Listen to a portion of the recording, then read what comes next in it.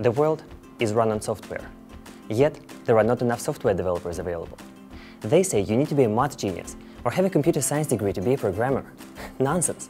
At Makers Academy, we proved that we can teach a complete beginner how to be a professional software developer in a matter of months. I'm incredibly proud that our graduates work for the world's best software companies. We are on a mission to reinvent how software development is taught. Thank you.